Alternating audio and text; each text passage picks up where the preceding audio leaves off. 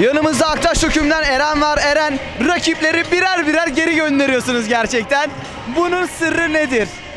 Bu sefer biraz çalıştık dersimize. O onun etkisi herhalde bilmiyorum. Bir de arkadaşlar çok özveriyle oynuyor.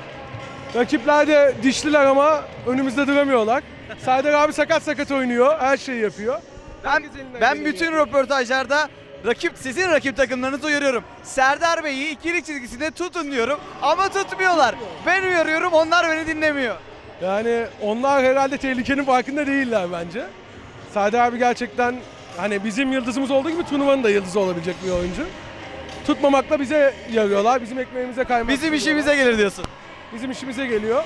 Böylelikle daha rahat yenebiliyoruz onları. Peki Eren sana çok teşekkür ederiz. Yolunuz açık olsun zaten istediğiniz sonuçları alıyorsunuz. Teşekkürler.